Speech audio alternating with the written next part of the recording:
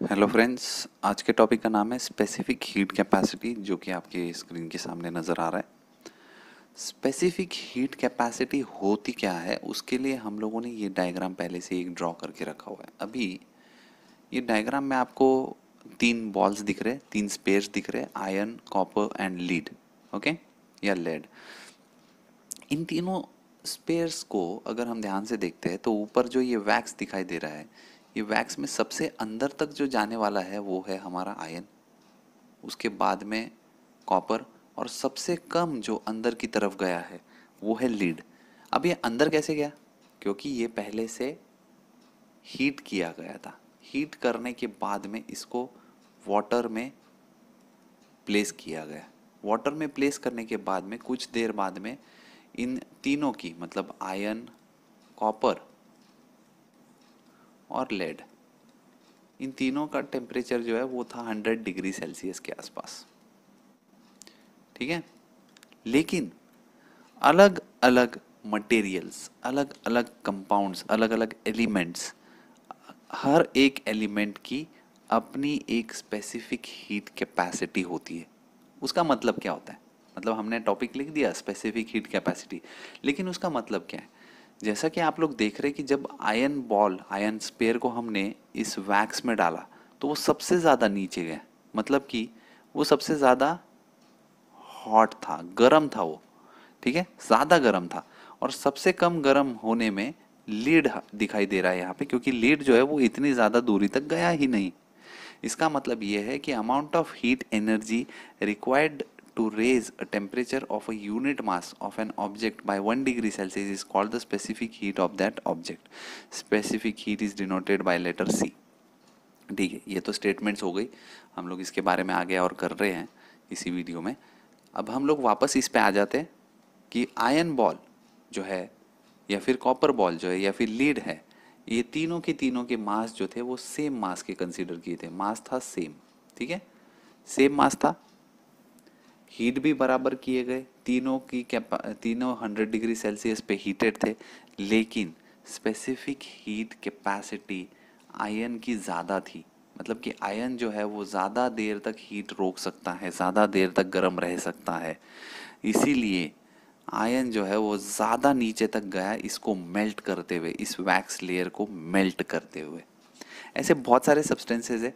इसमें से कुछ सब्सटेंसेस यहाँ पे लिखे हुए वाटर की स्पेसिफिक हीट कैपेसिटी है one calorie per gram degree Celsius paraffin जो है, उसकी है 0.54 केरोसिन की है 0.52 एल्यूमिनियम इज़ 0.215 आयन जो आपको यहाँ पे दिखाई दे रहा है स्पेसिफिक हीट कैपेसिटी जो बहुत ही कम नज़र आ रही है मतलब कि आयन जो है वो बहुत ही जल्दी गर्म हो जाता है, जल्दी हीट एब्जॉर्ब कर लेता है आयन, जिसकी स्पेसिफिक हीट कैपेसिटी कम होगी। स्पेसिफिक हीट कैपेसिटी जिसकी कम होगी लेस होगी वो ज़्यादा जल्दी गर्म हो जाएगा। मतलब will get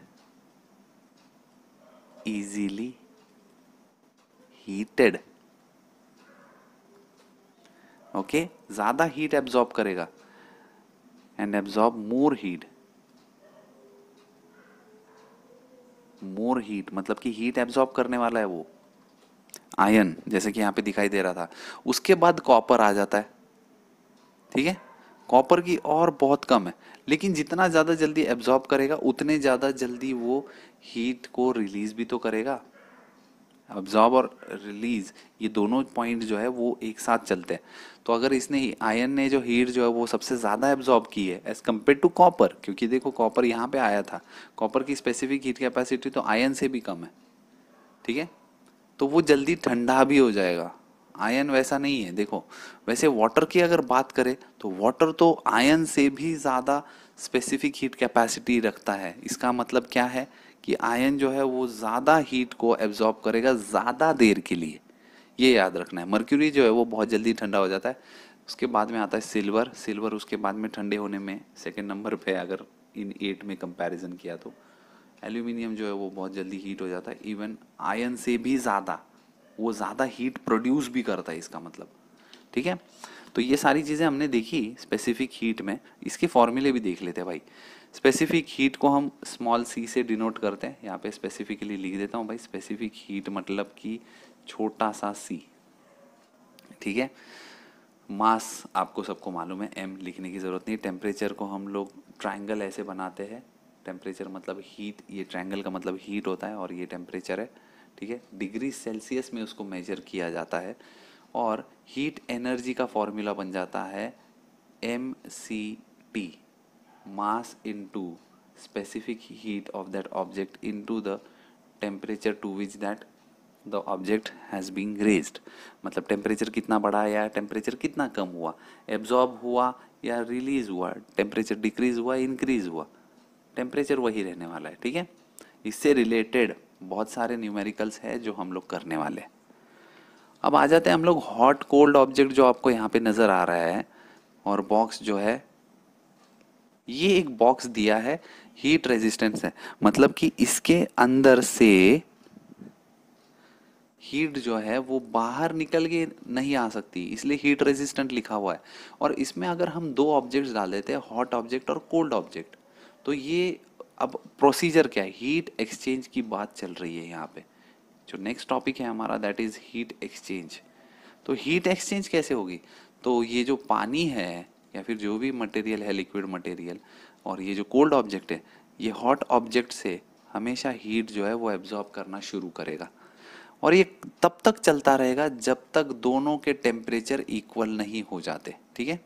दोनों के टेम्परेचर जो है वो सेम हो जाने चाहिए। दोनों नहीं, इस वाटर का भी टेम्परेचर जो है, ये हॉट ऑब्जेक्ट का टेम्परेचर और इस कोल्ड ऑब्जेक्ट का टेम्परेचर इन सब का टेम्परेचर जो है वो सेम होना चाहिए। जब सेम हो जाएगा तो ये हीट एक्सचेंज का प्रोसेस जो है वो भी रुक जाएगा। ठीक है? उसको बोलते हैं हीट एक्सचेंज बहुत ही छोटा सा टॉपिक है वो। ठीक है? अभी अगर मुझे किसी ऑब्जेक्ट की स्पेसिफिक हीट पता करनी है तो कैसे पता करेंगे? इसके लिए नाम दिया गया है एक मेथड का that is mixing method mixing method किसमें यूज़ किया जाता है? ये यूज़ किया जाता है कैलोरी मीटर में।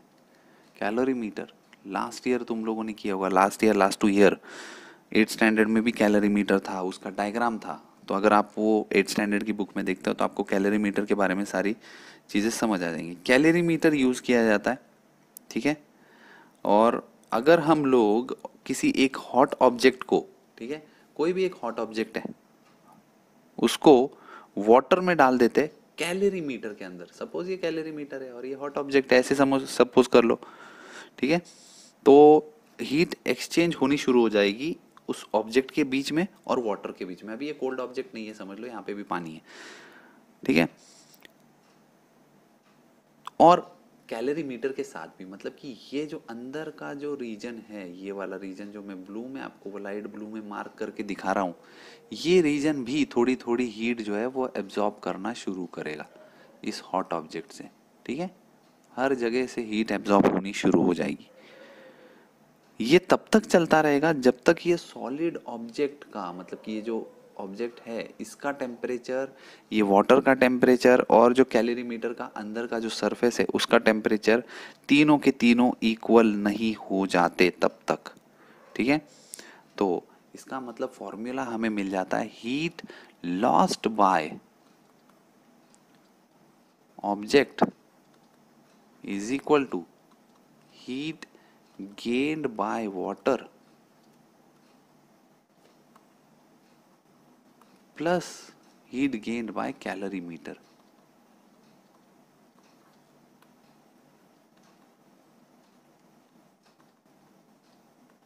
थोड़ा सा स्क्रीन कम है, इसलिए हम लोगों ने ऐसे लिख दिया। ठीक है? इसको हम लोग डिनोट भी कर सकते हैं भाई। है ना? इसका फॉर्मूला भी तो बन चुका है अब। अब देखिए, अगर हम लोग कहते हैं हीट लॉस्ट बाय ऑब्जेक्ट अगर मैं इसको स्पेसिफिकली अलग से लिखूं हीट लॉस्ट बाय ऑब्जेक्ट, इसका फॉर्मूला क्या होगा? फॉर्मूला होगा कि भाई सबसे पहले तो उसका मास मास क्या होता है? Mass of the object, mass of object होगा एम उसके बाद में हम लोग स्पेसिफिक हीट लिखेंगे, है ना? उसकी स्पेसिफिक हीट जो भी तरीके का ऑब्जेक्ट था आयन ऑब्जेक्ट था एल्यूमिनियम था, जो भी था स्पेसिफिक हीट स्पेसिफिक हीट को किससे डिनोट किया जाता भाई? सी से। उसके बाद में कितना कितना टेम्परेचर जो है, वो लॉस्ट हुआ है। या कितना टेम्परेचर डिक्रीज हुआ है। मैं डिक्रीज लिख देता हूँ डिक्रीज इन टेम्परेचर मतलब कि यहाँ पे ऐसे कुछ। तो ये हो गया हमारा फॉर्मूला नंबर वन ऐसे हमें तीन फॉर्मूले बनाने तो हीट लॉस्ट बाय जो है, ये इसको क्यू लिखते हैं? और ये जो है, ये क्यू वन होगा और ये होगा क्यू टू ठीक है?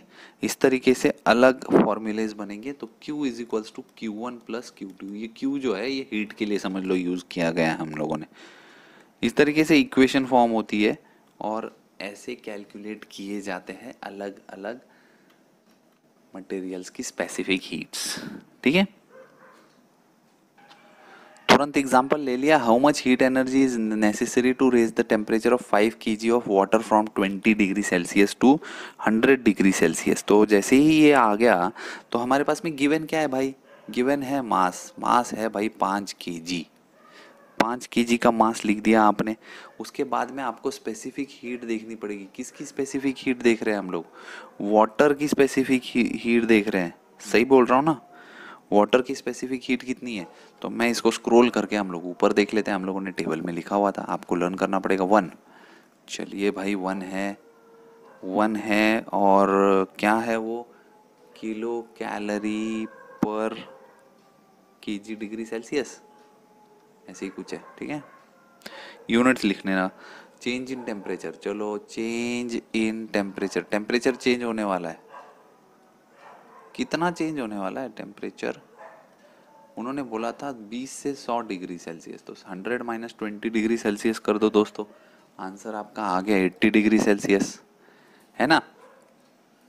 अब हम लोग क्या करने वाले हैं? फॉर्मूला लेने वाले हैं। फॉर्मूला आएगा energy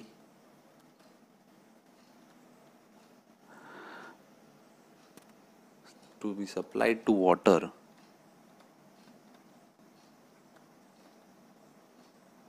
is equal to ठीक है is equal to energy gained by water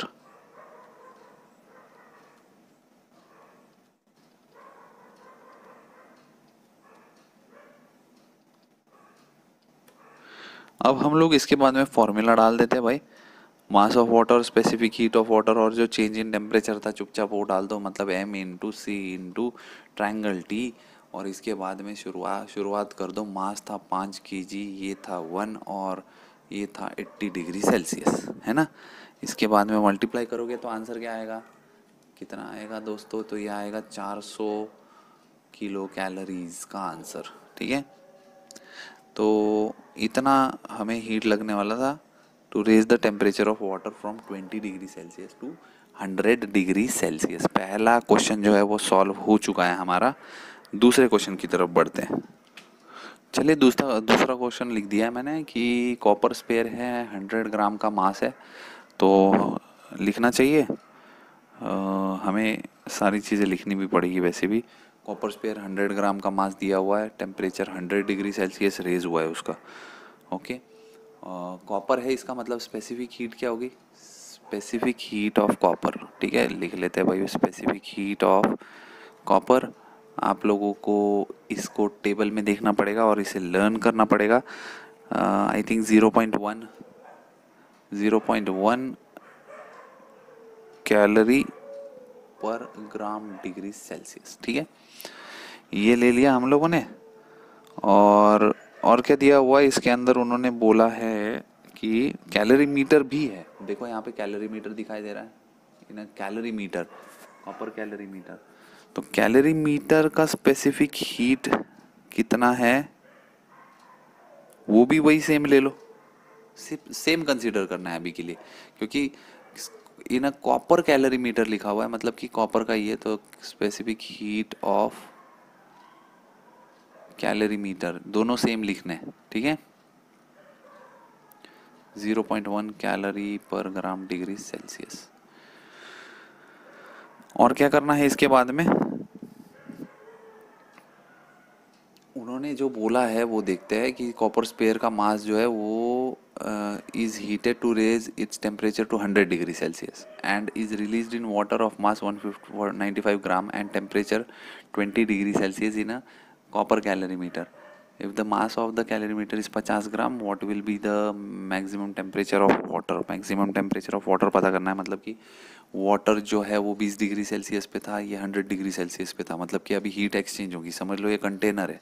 container के अंदर भाई पानी डाल दिया गया धा धा धा धा धा धा धा ये पानी चला गया भाई। पानी चला गया, उसके बाद में हमारा कॉपर का जो बॉल है वो आ गया चुपचाप यहाँ पे। और फिर वो जो है, ये ज़्यादा है हंड्रेड डिग्री सेल्सियस का है। ये बीस डिग्री सेल्सियस का है। ये दोनों हीट एक्सचेंज करेंगे। मतलब कि एक्चुअली हीट ही एक्सचेंज होगी। और कैलोरी मीटर भी है, वो भी थोड़ी सी हीट एक्सचेंज कर लेगा अपने साथ में। है ना? तो ये सारी प्रोसेस होने वाली है इसके अंदर। तो अब हम क्या करने वाले हैं? Heat lost by solid object मतलब कि हमारा heat lost by copper ball ठीक है? Heat lost by copper sphere कर देते हैं। ठीक है? Is equal to heat gained by water plus calorimeter है ना? Heat gained by copper sorry heat gain by water copper ही बोल दिया मैंने। कॉपर नहीं वाटर होना चाहिए। चलो वाटर और प्लस कैलोरी मीटर का भी योगदान है इसमें। ये भी हीट एब्जॉर्ब करने वाला है। चलिए फाइंड कर लेते हैं। तो सबसे पहले ये होगा क्यू ये होगा क्यू वन और ये होगा क्यू टू ये तो हम लोगों ने फॉर्मूला ऊपर भी लिखा हुआ था, ठीक है? तो अभी देखिए क्या क्या करना है हमें। जो क्यू है वो है hundred into zero point one अभी ये होगा हमारा हंड्रेड माइनस टी अभी ये टेम्परेचर पहले कितना था बॉल का, ये भाई हमें मालूम नहीं है। हंड्रेड ग्राम यहाँ पे लिखा हुआ है तो ग्राम तो हमने मास ले लिया हमने। एम सी टी समझ लो यहाँ पे M into C into triangle T लेकिन ये चेंज इन टेम्परेचर कितना था, ये नहीं मालूम आपको, ठीक है? तो उसको टी कंसिडर कर लीजिए दूसरा वाला, हंड्रेड माइनस जो पहले टेम्परेचर था उसको टी कंसिडर करके हमने सॉल्व किया राइट वैसे ही अगर हम लोग हीट गेंड बाय वाटर करते हैं तो वो होता है मास 195 ग्राम्स का स्पेसिफिक हीट 0.1 नहीं सॉरी इसकी वन होती है। तो वन ही लिख देता हूँ सीधे सीधे। और ये कितना है पहले से ये है, अभी बढ़ने वाला है ना टेम्परेचर तो टी जो बढ़ने वाला था वो नहीं मालूम माइनस ट्वेंटी ट्वेंटी पहले था, बढ़ने के बाद कितना हुआ ये नहीं पता था राइट वैसे ही लास्ट पचास ग्राम का कैलोरी मीटर था specific heat zero point one थी और इसका टेम्परेचर भी कितना बढ़ा वो नहीं मालूम। पहले ट्वेंटी डिग्री सेल्सियस था। ठीक है? अभी देखो हम लोग क्या करने वाले अभी सबसे बेस्ट काम ये करना है कि सिंप्लीफाई करने की कोशिश करते हैं। देखो हंड्रेड और ज़ीरो पॉइंट वन होता है टेन सीधे सीधे और ये ten into hundred minus T और यहाँ पर आप लोग देखोगे नहीं, यहाँ पे कुछ नहीं है भाई। यहाँ पे आप लोग सीधे सीधे मल्टीप्लाई करके वन नाइन्टी फाइव ब्रैकेट में T minus twenty plus fifty fifty into zero point one सीधे सीधे फाइव आ जाता है आंसर देखो।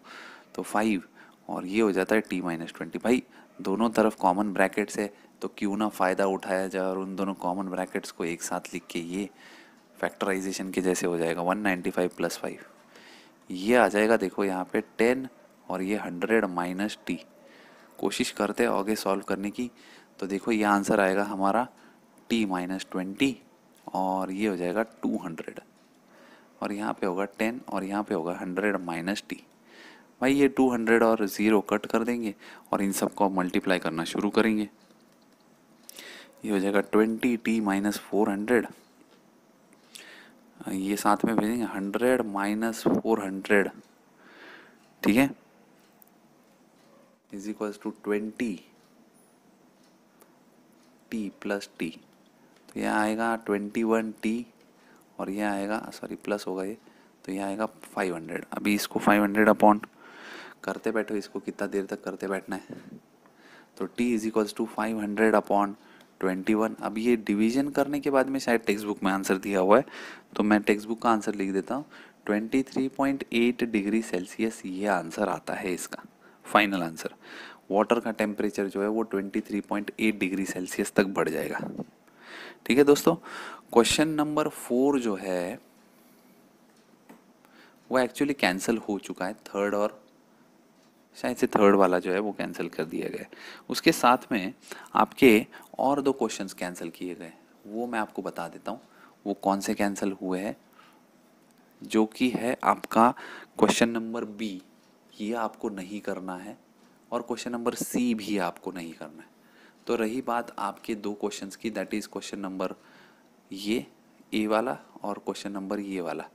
तो यही दो क्वेश्चंस आपको सॉल्व करने और बाकी के एक्सरसाइज के क्वेश्चंस भी आपको अच्छे से लर्न करने ये लेसन हमारा आज यहीं पे ख़त्म कर दिया जाता है। आगे के वीडियोस में हम लोग और एक नया लेसन देखेंगे, ठीक है? तो बने रहिए चैनल के साथ और वीडियो को लाइक ज़रूर कर देना दोस्तों एक बार। चलिए bye bye thank you take care